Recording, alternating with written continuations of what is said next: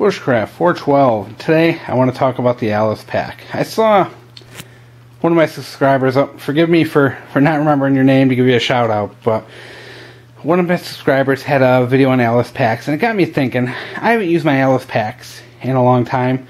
Um, I actually have four of them. I kind of have like a backpack problem in that I buy tons and tons of them.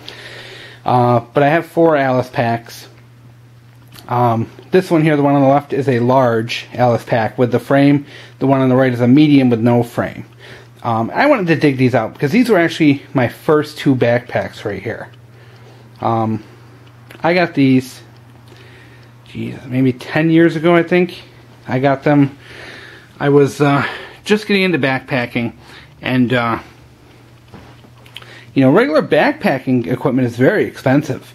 Um, and at the time, I was kind of a a broke, you know, just out of college, you know, guy. Didn't have much money.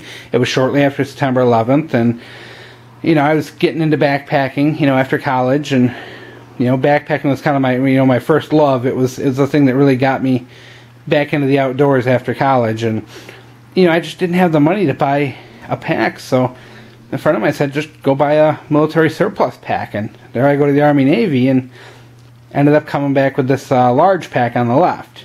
And then uh, shortly thereafter, I believe I ordered the medium online. I got that for like 19 bucks on a sale. Uh, not as good a condition as the large, but you know, you get what you pay for. And I used these things for probably like three or four years until I kind of got myself into a better financial situation and was able to buy a couple nicer actual backpacks made for backpacking. Uh, but I've got probably, you know, I wouldn't doubt it if I got, you know, 150, 200 miles on this one on the left and easily 50 or 100 miles on this uh, little medium, which I tend to bring more for just like little overnight trips.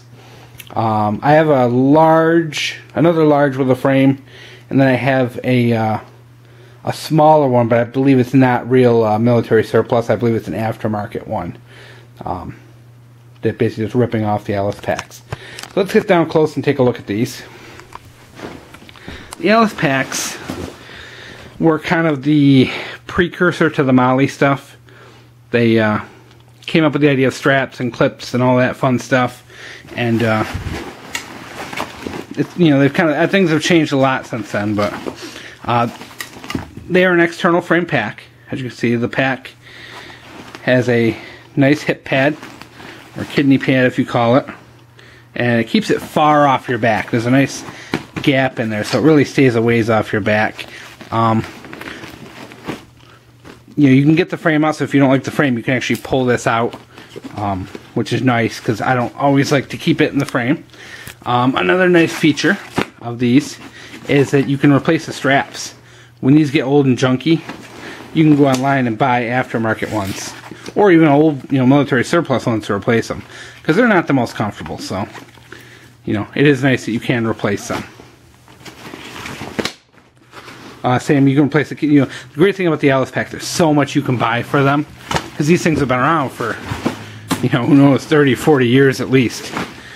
Um, these are a basic top-loading backpack uh, with nice lots of straps that you can cinch everything down with. Um, let's go to the main pack first. The main pack, I know this is tough to see because you're looking at green on green here, but there is a uh, kind of a secondary pouch in here uh, where you can put smaller items. It runs about half length to here. And then you have your main pouch, which is very big. It holds, easily holds, you know, a couple, you know, big backpack, big tent. You can put a lot in there. Um, plus it also has, as you can see, you have some areas here to strap on. These right here as well. You can use these to strap on backpacks, ground pads, whatever, to your pack. So you don't have to use this for your your tent and your uh, your uh, sleeping bag, which is very nice feature. Um, like with any other external frame, is you have that ability to strap things on a lot better than you can with internals. Uh, the, po in, the pocket's very big, very bulky. You can fit a lot in here. Um, the only problem is it does ride up high on your back, and the center of gravity takes some getting you know a little time to get used to. As for pockets, I mean, as you can see, there's actually a lot of webbing on here, and a lot of places to strap things on this is kind of the precursor to MOLLE. you know, that's I think where the idea came from. Um, there's three pockets in the front. They're kind of tall, long pockets. They, uh, I use them for tools and small things like that. Uh, flashlights, knives, things along those nature. And then there are three main pockets, well not main pockets, pockets in the on the sides. And they have drainage holes, which is nice. So if you do get wet, they do drain, which is good.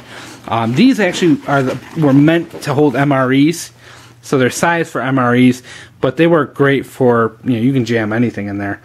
Um, but they were designed for MREs, so if you are doing any kind of like survival camping or using this as a bug out bag, you can use those three pouches for three MREs and then you know put some of your tools up here and then your clothes and other supplies in the main pocket um, you know these aren't conventional you know backpacks so you don't get a lot of the fancy nylon webbing and things like that.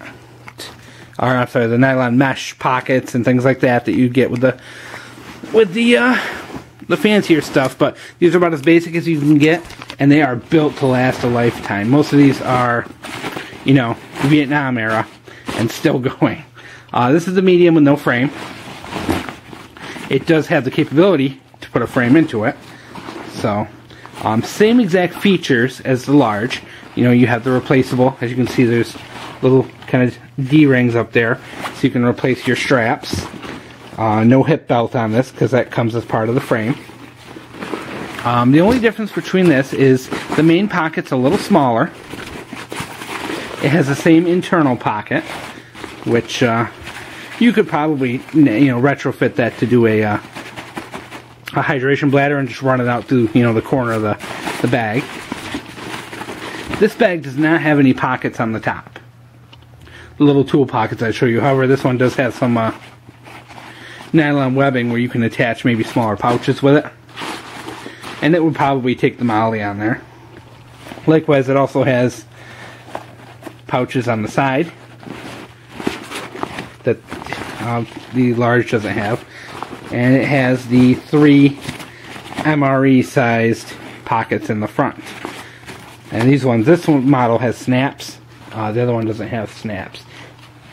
So, nice. Once again, they have the little drainage holes in the bottom in case it gets wet, so your pack doesn't, you know, so it drains out. Um, these are actually pretty waterproof. Spray a little waterproof on these, and these are very waterproof uh, which is nice. Very durable. And this is all original equipment. I haven't replaced any of the straps or anything like that out yet. Uh, so this is probably going, close to 40 years. Um, all original. Uh, when you get the Alice packs, that's what you're buying. You're buying a bomb-proof backpack. Something that's good for hundreds of miles and a lifetime of use. Uh, which is nice compared to the modern stuff, which, you know, isn't really built to last a lifetime. Um, prices on these, I've seen these things from 20 to, you know, $100. Some of the real kind of pretentious Army Navy stores really uh, jack the prices up on these things. So shop around, and you can get good deals on these online too. The only problem is you don't get to see the quality before you buy them, which kind of stinks. But these are great bug out bags. These are great for Boy Scouts, beginning backpackers, anyone like that, or even if you're just the kind of person who, if you're going to be maybe doing some bushcraft stuff and you're going to be off the trails, these are good backpacks that won't get torn up by the elements. So, always a good option if you don't want to ruin your good equipment. Or if, say, you do need the capability to uh, strap a lot onto the bottom, these are a great backpack if you got to strap on a big, heavy, like winter sleeping bag and winter gear. Um, these are great winter backpacks because they are external frame. External frames go really good in the winter. And there it is. Alice packs, large and medium. And I hope you enjoyed. Any questions or comments, feel free to leave them. Any uh, criticism is appreciated.